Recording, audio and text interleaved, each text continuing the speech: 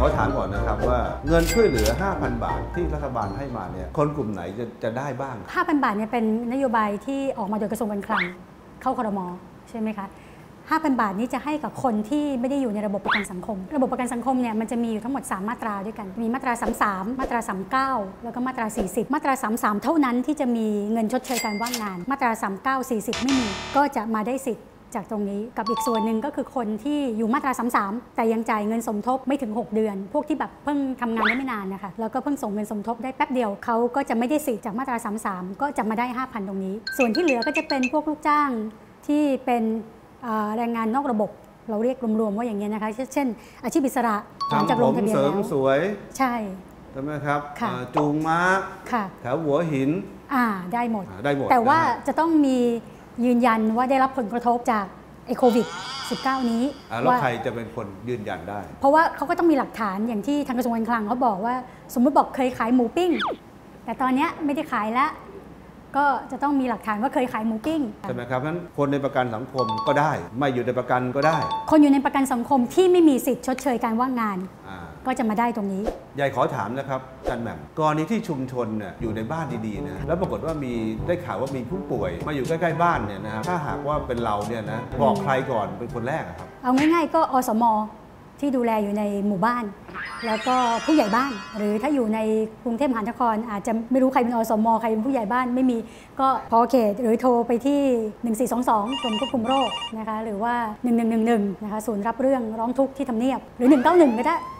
อาจารย์แบบมีข่าวว่าคนไทยในต่างประเทศ ซึ่งเขาอยากจะกลับประเทศมากนะหลายพันคนนะครับ แต่รัฐบาลไม่ยอมให้กลับจริงเหรอครับ แต่ถ้ามีถ้ามีเพิ่มเติมอย่างไรเนี่ยรัฐบาลไทยก็จะต้องช่วยเหลืออยู่แล้ว ถ้ามีคนไทยที่ต้องการจะกลับ แล้วก็ต้องมีกระบวนการในการที่จะคัดกรองกับ กันก่อนขึ้นเครื่อง แล้วก็มาถึงก็ต้องกักกันต่อเหมือนกับสมัยคนไทยในอู่ฮั่นนะคะคือถ้ามีจริง ๆ ก็ก็ต้องมีกระบวนการดูแล ชัดเจนคนไทยอยู่ที่ไหนเนี่ยรัฐบาลไทยกับคนกับคนในประเทศก็ยังยินดีต้อนรับอยู่เสมอนะครับอันซึ่นี้งเคลียร์ใช่ค่ะซึ่งท่านนายกเนี่ยตั้งเป็นศูนย์หนึ่งเลยด้วยเป็นศูนย์ย่อยที่กระทรวงการต่างประเทศเนี่ยดูแลคนไทยในต่างประเทศ รวมไปถึงดูแลคนต่างประเทศในไทยที่มีใบอนุญาตทำงาน เพราะมันเป็นเรื่องที่เราต้องดูแลในในเรื่องสิทธิมนุษยชน แล้วก็สิทธิความเป็นคนไทย มีคำถามมาอีกอันหนึ่งจากทางบ้าน เขาบอกว่าตอนนี้เนี่ยทุกคนเนี่ยเริ่มเย็บปักถักร้อยเป็นแล้ว เริ่มเย็บหน้ากากเป็นเนี่ยนะครับเอ๊ะถ้าเกิดเราเย็บเยอะๆเนี่ยเป็นอุตสาหกรรมภายในครัวเรือนเป็นโอท็อปอย่างเนี้ยฮะรัฐบาลจะมีส่วนในการช่วยเหลือในการที่กระจายไปให้กับคนอื่นๆในสังคมไทยได้ไหมฮะจริงๆ ทางกระทรวงมหาดไทยทำอยู่นะคะที่เป็นงบกลาง 225 ล้าน ซื้อวัตถุดิบให้อออบตทั้งหลายเนี่ย7,000 กว่าแห่งลงไปดำเนินการ 50 ล้านชิ้น แล้วก็เป็นฝีมือชาวบ้านเนี่ยแหละค่ะไปอบรมวิธีการเย็บแล้วอย่างที่พี่ใหญ่ว่าตอนนี้เย็บไปหมดล้วแล้วทางอบตเนี่ยเขาก็แจกจ่ายไปให้ชาวบ้าน 50 ล้านชิ้น แต่มันก็จะมีหน่วยงานอื่นๆอีกมีอสมเย็บอีกล้านชิ้น แล้วก็มีเอ่อหน่วยงานของรัฐมีของยุติธรรม ในราชทัณฑ์เขาก็ทำมีของอาชีวะเขาก็ทำตรงเนี้ยค่ะที่มาเสริมกัน แล้วก็มีกลุ่มจิตอาสาอีกก็อยู่ในแผนงานที่รัฐบาลทำอยู่แล้ว เพื่อให้มีหน้ากากทางเลือกปริมาณมากขึ้น ให้คนไทยได้ใช้ได้โอ้อหย่าน้างทั่วกากถึงใหม่ๆ อย่างเงี้ยมีลวดลายสวยงามค่ะผู้ที่ไม่ป่วยนะก็ไปใส่ซะเพื่อป้องป้องกันใช่ค่ะส่วนหน้ากากอนามัยที่เป็น อุปกรณ์ทางการแพทย์ให้ทางแพทย์และพยาบาลซะดีกว่า เก็บไว้ให้บุคลากรทางการแพทย์กับผู้ที่ป่วย ผู้ที่มีอาการก็ควรจะใส่ เพื่อที่จะป้องกันตัวเองไม่ให้ไปแพร่เชื้อให้ผู้อื่นครับค่ะ ก็กันเอาไว้ให้กับกลุ่มเสี่ยง แล้วก็บุคลากรทางการแพทย์ อาจารย์แหม่มจะมีใจฝากกับทางประชาชนไหมว่ามาตรการที่ออกมาแต่ละอันเนี่ยเดี๋ยวเราจะมีการแนะนำค่ะเป็นขั้นเป็นตอนไป